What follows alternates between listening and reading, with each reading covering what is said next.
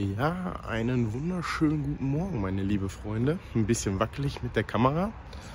Aber äh, herzlich willkommen zu einem weiteren Video. Ich bin's, euer Tristan. Und ich bin gerade auf dem Weg zu meinem Auto. Dann werde ich heute wieder in den eigenen Club fahren, zu den Würfelgöttern. Denn dort findet heute ein 40k äh, Turnier statt. Ich werde selber nicht dran teilnehmen, aber ich äh, werde euch mitnehmen und ja, euch mal ein paar Eindrücke einfangen.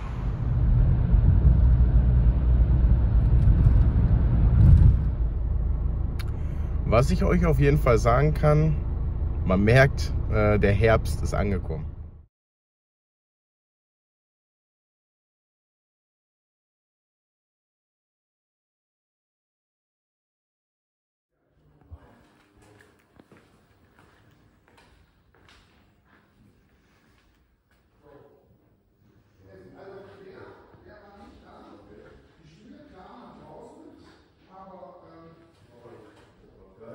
Session run है session run या वो क्या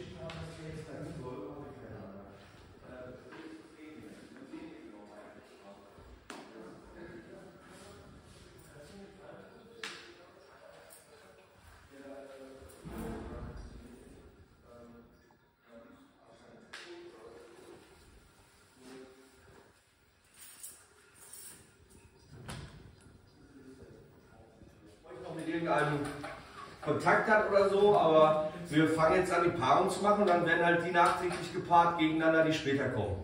So, erstmal schön, dass ihr alle da seid. Äh, zum letzten Turnier, was wir dieses Jahr haben. Dann haben wir erstmal ein bisschen Pause, weil dann hier interne Clubumbauten stattfinden, dass wir später mehr Platten bekommen und so weiter. Aber das seht ihr dann, wenn ihr wiederkommt. So. Ähm, ich habe ein paar Kleinigkeiten erstmal, bevor äh, wir dann zu dem lustigen Teil kommen. Äh, erstens, weil das schon gefragt wurde, äh, Secondaries ist nur äh, die aus dem Nephilim-Buch. Weil alle meinten, Codex-spezifisch und so weiter sind nur die äh, äh, äh, Nephilim-Secondaries. Da stehen halt auch die Secondaries für die Armeen jeweils drin. Und wenn ihr Fragen zum Gelände habt, weil wir halt nicht das WTC-Gelände haben, wie man ja schon sieht, wir haben eigenes Gelände. Wenn ihr Fragen zum Gelände habt, fragt mich oder den Dennis. Der Dennis, der macht den Hauptjudge jetzt hier, ist kein Problem. Eine Standardregel, die ich schon mal sagen kann für die Neuen, die da sind, bei uns gilt immer, unterste Etage ist komplett zu. Ja? Äh, wir wollen das halt nicht immer alles zutackern und zukleben, dann sieht scheiße aus. Ähm, deswegen, unterste Etage, unterste Etage ist immer zu. Und ähm, wenn ihr zu anderen Sachen Fragen habt, ist das was ein Krater oder was ist das, fragt uns einfach, wir haben die Zeit dafür. Noch ein kurz zu den Secondaries. Also Ja. die aus dem Kodex sind aber trotzdem noch legitim, oder wie habe ich das jetzt verstanden? Nee, die sind, äh, du hast ja für im Nephilim-Buch neue für deinen Kodex. Hm, okay, gut. Ja, die sind Das geht aktuell. auf jedem anderen Turnier auch. Ja. Sind die Geht im gleichen Moment sagen, achso, also, sorry, geht, geht im Moment halt das Nephilim-Buch und da ist ja für jede Armee sind ja die eigenen Secondaries Genau, drin. weil, weil die sind Fragen gerade aufkamen. Das ist eigentlich, eigentlich ist die Regel bekannt, aber weil halt auch ein paar neue Leute dabei sind, habe ich es nochmal gesagt, dass das halt nur die gilt. Kontrolliert bitte vor dem Spielen die Platte und wenn ihr ein Problem damit habt, kommt zu mir oder zu Dennis. Wir hatten es beim letzten Mal, dass Leute Platten umgestellt haben. Ich wusste nichts davon und in Platte 3 kommen die und sagen, irgendwie ist die Platte halt leer, warum in Runde 3? Und dann kann ich auch nichts mehr machen. Ja? Wenn ihr was habt, dann kommt zu mir, dann gucken wir uns das an, bauen das äh, um, wenn es sein muss, ne? aber in Runde 3 kann ich da nichts mehr machen. So. Ähm, ach ja, und noch ein wichtiger Punkt. So. Das hier ist ein Hobby-Event mit Turniercharakter. Ja? Das heißt, ich würde mir wünschen, dass wir hier alle fair und spaßig miteinander umgehen. Ich weiß, es ist ein Turnier, aber jetzt so als Beispiel, weil wir das schon mal hatten. Ja? ähm, du kannst Droppots, ja, wenn Droppots kommen, dann ist die, die kommen Ende der Bewegungsphase. Ja? Und wenn man dann da sitzt und einer sagt, ich stelle jetzt einen Droppot und dann sagt man, ha, jetzt darfst du dich nicht mehr bewegen, das ist nicht so geil. Wisst ihr, was ich meine? Da kann man einfach sagen, so, hey, bist du sicher, du hast alles schon bewegt oder so, wenn man sieht, dass er seine ganze Armee noch nicht bewegt hat. Wie gesagt, wir haben neue Leute und so weiter. Ihr müsst dem Gegner nicht das Spiel erklären, darum geht es nicht. Ja, aber dieses Gacha, so, das ist halt nicht geil. Nur so als kleinen Anreiz vielleicht. So, Slow Dice und Fast Dice, das ist genauso wie alles andere. Sprecht euch mit eurem Spielpartner vorher ab. Ja, weil Slow Dice ist ja eigentlich die Regel und wenn ich genau weiß, was das ist, der kann halt zu mir kommen, dann kann ich da nochmal kurz drüber reden. Ja? Aber die meisten wissen, worum es geht. Ja?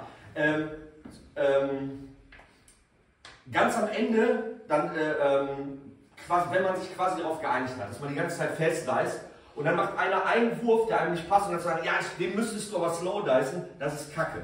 Sprich das vorher ab und sagt dann, okay, jetzt kommt ein wichtiger Wurf, jetzt werfe ich jeden Würfel einzeln, wie es richtig sein sollte. Ja? Nicht, dass solche Situationen zwischendurch entstehen, weil das ist halt ein bisschen doof.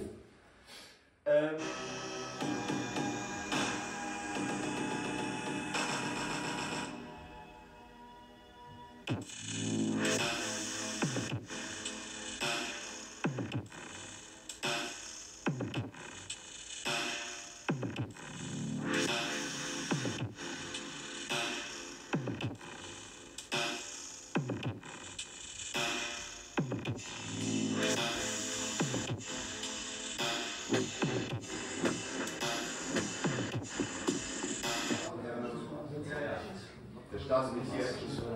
Leben haben die eigentlich? Äh, zwölf.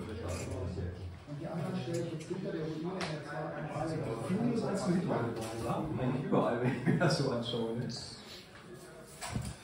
Überall.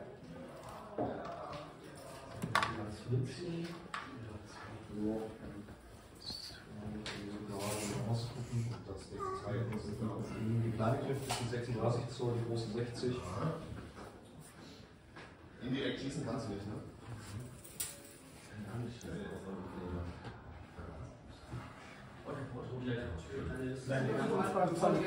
Sechs Würfel bei einer 4 plus. Gibt's Mortungen? Vier Mord. Äh,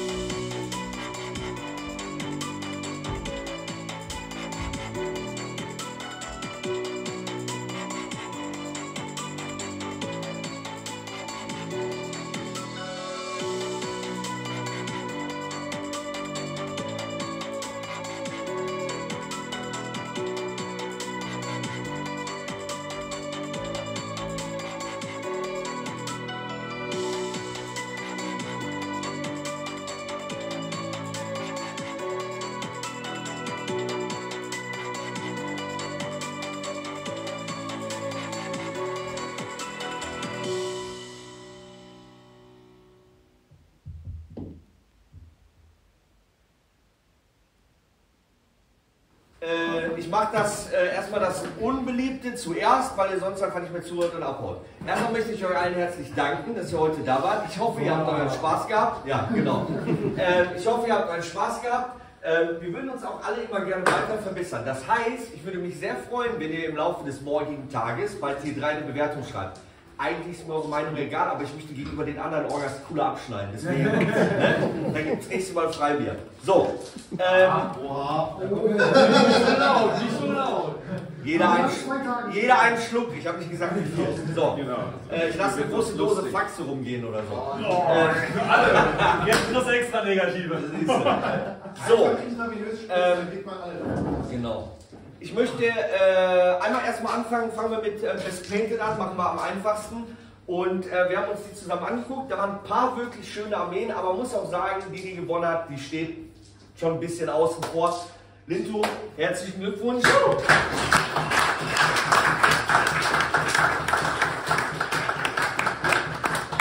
Unser Ringelkommissar überreicht dir dann äh, dein Fragen um der Kommissar Genau.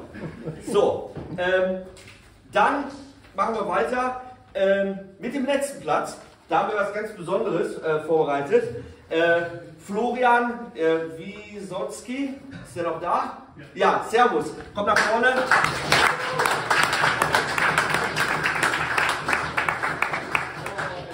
Wir haben hier alles, was man braucht, wenn man traurig ist. Taschentücher, was Essen, eine Pulle Bier, aber nicht, aber nicht vom Fahren, ne? Nee. Alles klar, dann viel Spaß noch damit. Ich hänge den Zettel gleich nochmal auf. Wundert euch nicht, ich habe handschriftlich, weil Göpp das nicht macht, die Platzierung geändert. Es haben sich nur zwei geändert für fehlende Bemalwertung und so weiter. Ähm, wir machen die Top 5 einfach, weil das am einfachsten ist. Äh, Platz 5 ist der Grisha, der schon gefahren ist. Der war unzufrieden. Ähm, der Patrick Kadisch Wenschröder.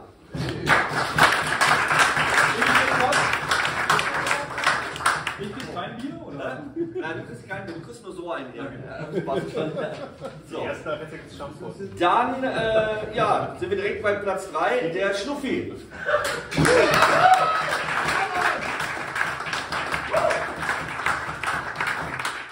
So, herzlichen Glückwunsch, viel Spaß nochmal. Und äh, kannst du auf, aufs Klo stellen oder so, ist bestimmt. So, dann kommen wir zu den ersten beiden Plätzen, die äh, beide auch äh, unbesiegt sind. Äh, und zwar Platz 2 dann für den Janek. So,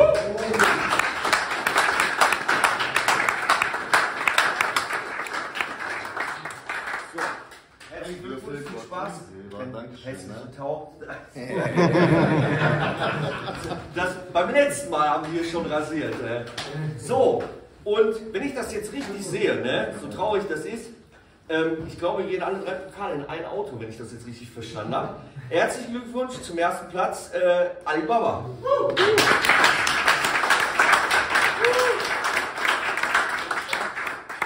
Und zwar auch mit, äh, Abstand. Ey. Das hat äh, Brasilien. Ich hänge die Liste gleich aus, da könnt ihr alle nochmal gucken. Wenn ihr Fragen habt, kommt gerne zu mir. Danke für die Orga auf jeden Fall. Dankeschön.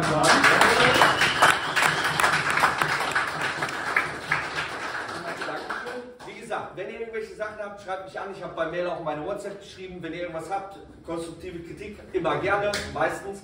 Ich wünsche euch noch eine gute Heimreise und ich hoffe, wir sehen uns dann nächstes Jahr, wenn wir dann wieder neu starten nach dem Umbau hier.